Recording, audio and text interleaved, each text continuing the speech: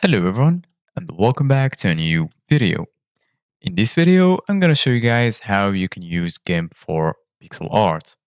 So if you guys want to learn how to do it, just follow the steps that I'm going to show you. As you can see guys, I'm right now on GIMP. So the first thing that you need to do guys is to add, for example, a background. Go to File, you're to find it up to the left corner and then click on Open.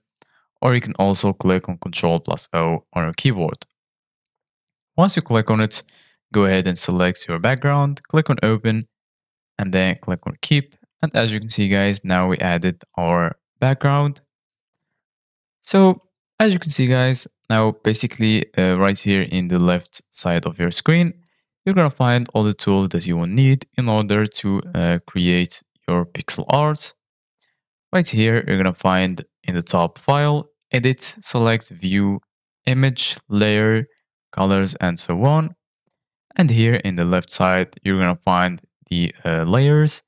And right here, you're going to find some uh, overlays that you can add to your uh, image. So basically, guys, if you want to uh, use GIMP for pixel art, you need to have the uh, grid on your image. So in order to do that, go up and click on image.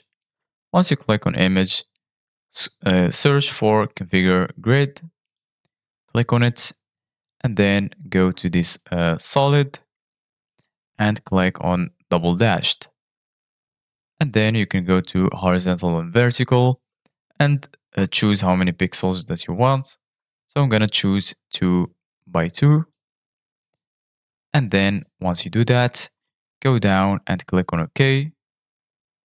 And after that, you will be uh, able to use GIMP for pixel art. So this is guys for today's video. Thank you guys for watching. See you guys in the next video.